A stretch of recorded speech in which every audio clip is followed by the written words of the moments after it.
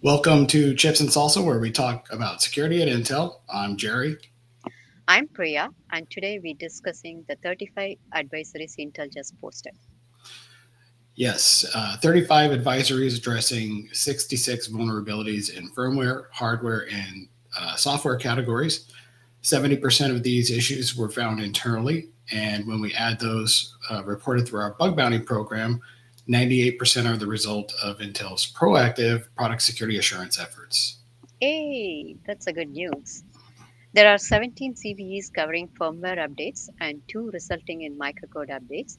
All of this were found by Intel as we continue working to ensure Intel has the most secure platforms in the world.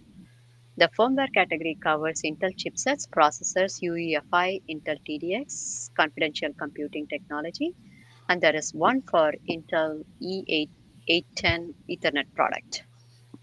Yeah, of the 47 CVEs covering software, 27 or 58% were found by Intel.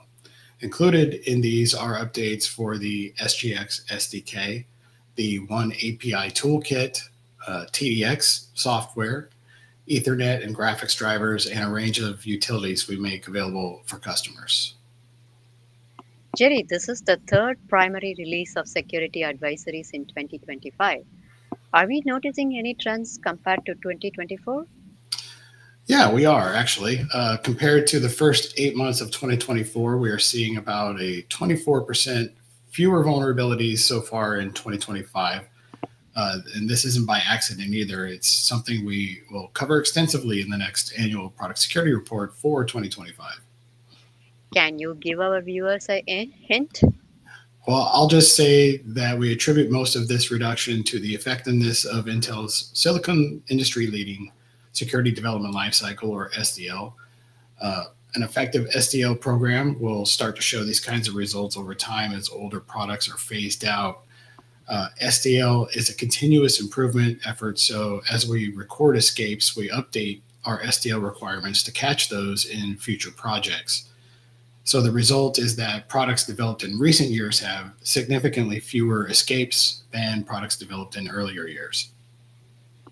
Well, that's amazing, and I can't wait, wait to see the next Intel product security report. Viewers can also find the 2024 report at the link below. Yeah, and they can find all of today's security advisories at intel.com/security. Given it's Patch Tuesday, many other vendors have also released security updates today. So we encourage customers to evaluate affected systems and update as soon as possible. Yep. And Priya, that's it for today. Thanks everyone for watching. Thank you, Jerry.